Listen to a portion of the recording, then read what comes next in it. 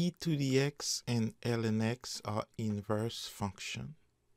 Therefore, when we compose e to the ln a, we'll get a, e to the ln x is equal to x. When we raise both to the x power, e to the ln a to the x is equal to a to the x. And the power of a power, we multiply the exponent, e to ln a times x is equal to a to the x. We can replace a to the x by e to the ln a times x. The integral of e to the ln a times x dx.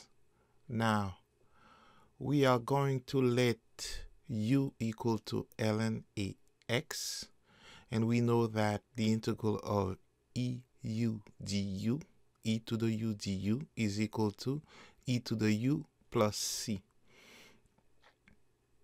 Let u equal to ln a x, du dx will be, well, ln a is a constant, so it's ln a times the derivative of x is just 1.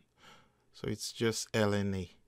And du, when we cross multiply, will be ln a times dx. So to create my du, I need ln a. So I'm going to multiply and divide by ln a. This is the trick that I'm going to use to get my du. The integral becomes 1 over ln a e to the ln a x times ln a dx and it's equivalent to 1 over ln a times e to the ln ax plus c e to the u plus c. 1 over ln a and e to the ln ax is right here. E to the ln ax is equal to a to the x. 1 over ln a times a to the x plus c which is a to the x over ln a plus c